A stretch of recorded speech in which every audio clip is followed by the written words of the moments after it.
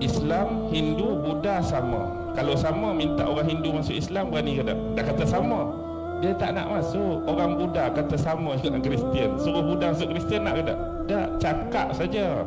Kalau kita sama-sama beriman pada Tuhan yang sama yang kami panggil Allah, yang you panggil God, yang you panggil Brahma, yang you panggil Krishna, dari sudut nama tidak akan ada perbezaan kalau dia merujuk zat yang sama. Adakah Taurat berbohong tentang Muhammad? Adakah Injil menafikan tentang Muhammad? Sedangkan Tuhan yang sama, nabi-nabi yang sama.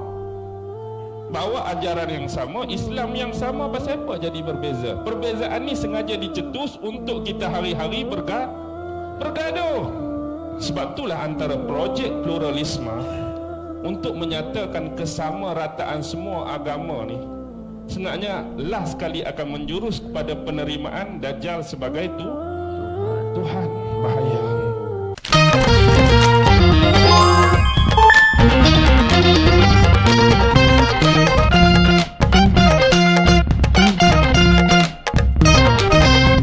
Assalamualaikum warahmatullahi wabarakatuh. Jumpa lagi dengan saya guys Cak Mujib. Gimana kabar teman-teman semua? Semoga sehat selalu bahagia dunia akhirat. Selamat datang di Cak Mujib TV guys. Kali ini kita akan mendengarkan ceramah daripada Ustadz Auni Muhammad ya guys ya. Nah di sini ya guys ya uh, banyak sekali yang kita ketahui ketika mendengarkan ceramah-ceramah Ustadz Auni Muhammad. Salah satunya di sini ternyata ya ternyata ya guys ya laluan dajjal itu sudah disiapkan Oh, macam mana tuh guys ya? Wah, ini saya penasaran sekali karena karena ya kita tahu ya guys ya, forum akhir zaman dibahas di sini di sini dan pasti penjelasan Ustaz Ani Muhammad ini yang paling keren kalau menurut saya. Jadi saya penasaran dengan penjelasan Ustaz Ani Muhammad bab tentang laluan dajjal ini. Jom kita simak bersama. Let's go.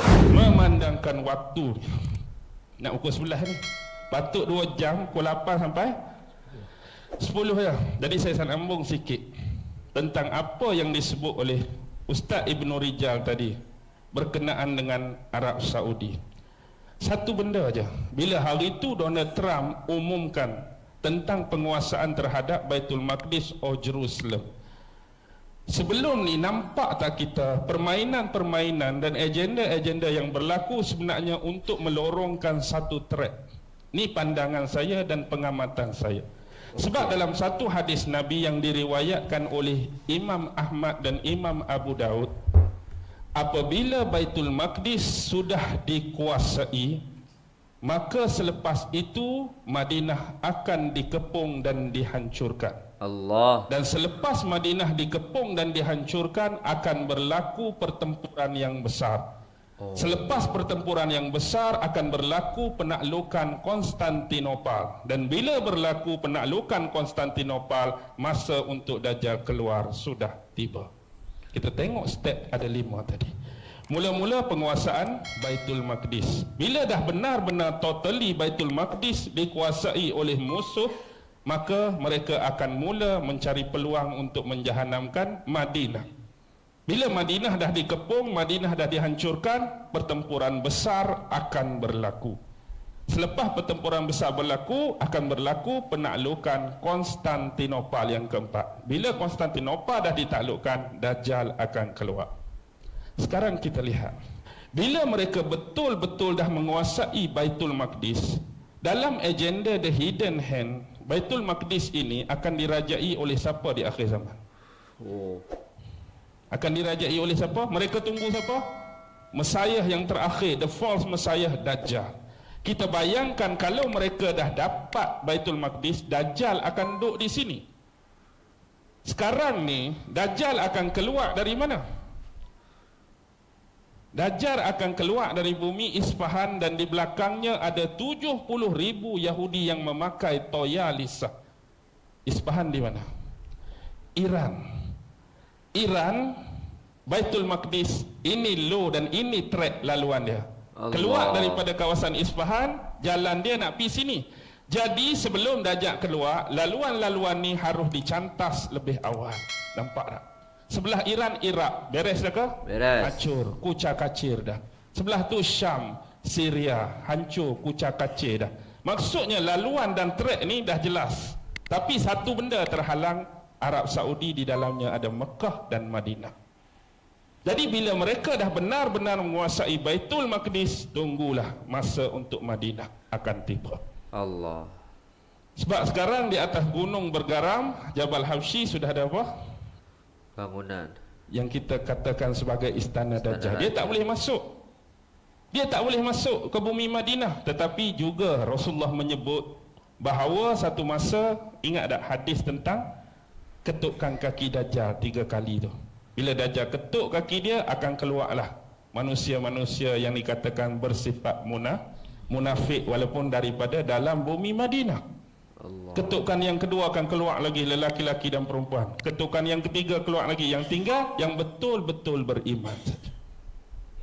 Walaupun kita rasa safe di situ, selamat di situ, tapi kalau yang kita tu ada bermasalah, kita juga akan terkeluar dan menjadi pengikut-pengikut Dajjal. Naudzubillah. Jadi bila mereka dah menguasai Madinah, otomatik laluan ni makin senang. Terus saja. Lalu ke Iraq, lalu ke Syam, lalu ke Arab Saudi, terus ke Israel. Anda nampak tak benda ni? Jadi permainan yang dibawa ialah Wahabi vs Syiah. Orang hak lawan Wahabi akan dituduh Syiah, orang hak lawan Syiah dituduh Wahabi. Kita hak duduk tengah ni yang kena ya. Lawan hak ni, oh Syiah kena. Lawan hak ni kita kena Wahabi. Ni je permainan. Sebab tu bila mula-mula mereka umumkan penguasaan Baitul Maqdis oleh Donald Trump, ada ura-ura bahawa dua negara Arab besar akan bertarung, akan berperang, iaitu Arab Saudi dengan Iran. Apa tujuan dia? Fahamlah, ikut law dan track tadi. Allah.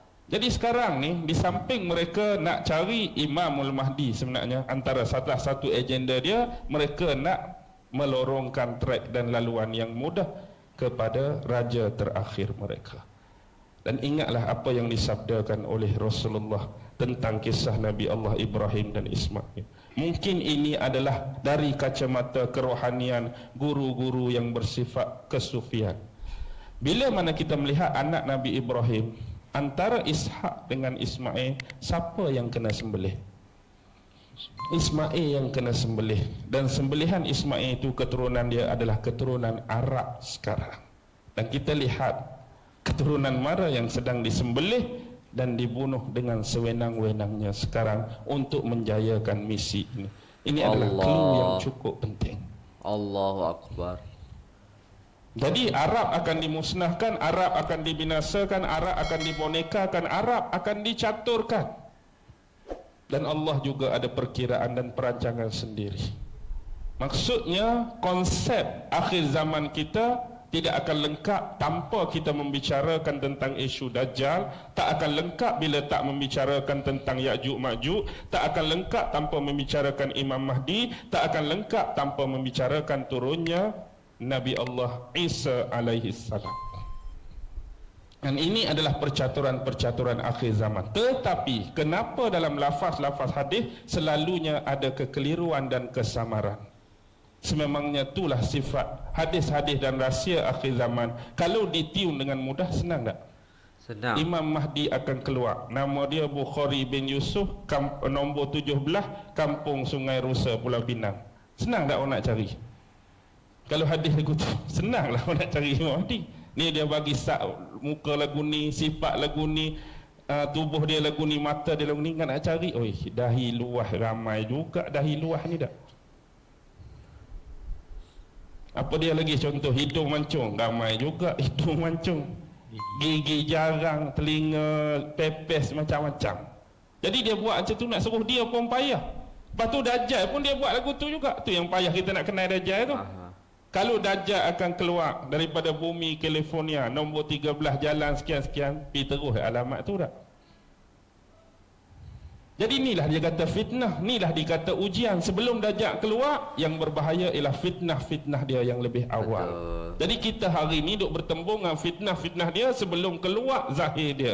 Lepas ni dia akan mengaku jadi nabi, seterusnya mengklaim dan mendakwa dia adalah tu Tuhan. Tuhan. Sebab itulah antara projek pluralisme untuk menyatakan kesamarataan semua agama ni sebenarnya last sekali akan menjurus kepada penerimaan Dajjal sebagai tu Tuhan. Tuhan. Bahaya. Oh. Sebab itulah kita tolak konsep pluralisme hari ini.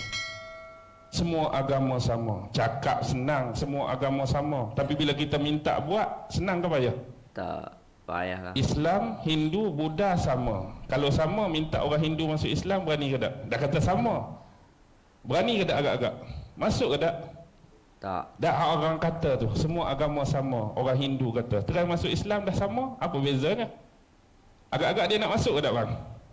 Dia tak nak masuk. Orang Buddha kata sama dengan Kristian. Suruh Buddha masuk Kristian nak ke tak? Tak, cakap saja. Cakap saja sama bila kita minta, jadi tak sama.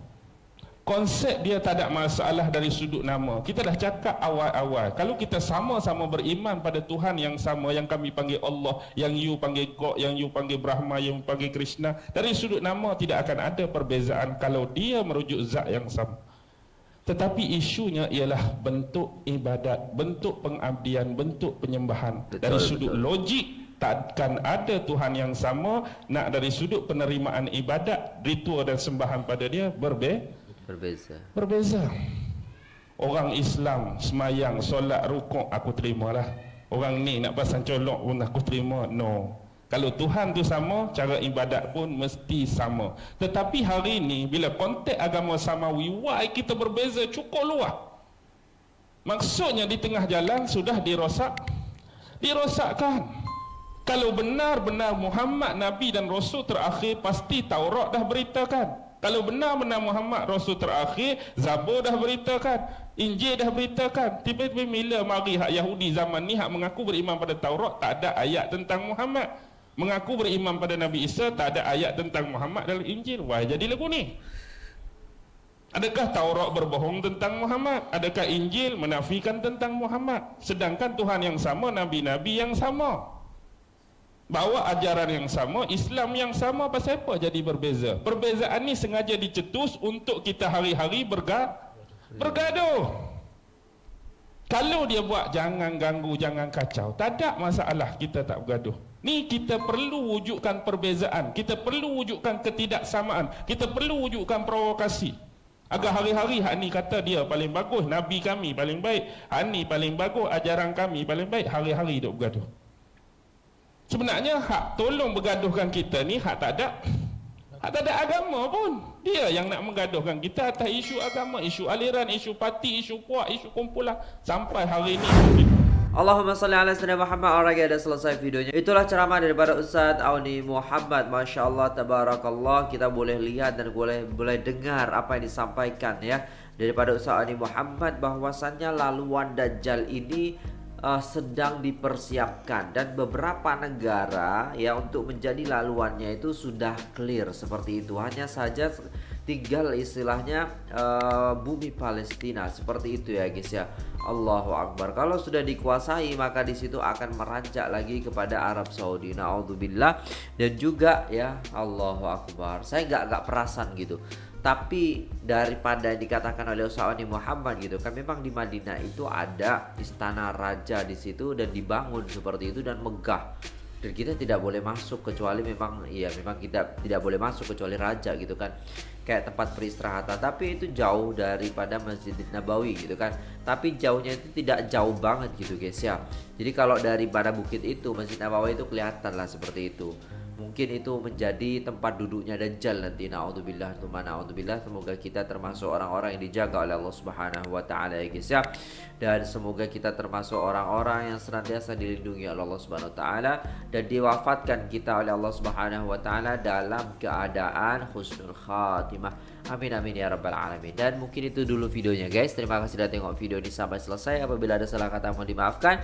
Jangan lupa like, share, komen, subscribe kepada channel ini Dan juga Islam di hati. Terima kasih. Sampai jumpa di video selanjutnya. Saya pamit undur diri. Assalamualaikum warahmatullahi wabarakatuh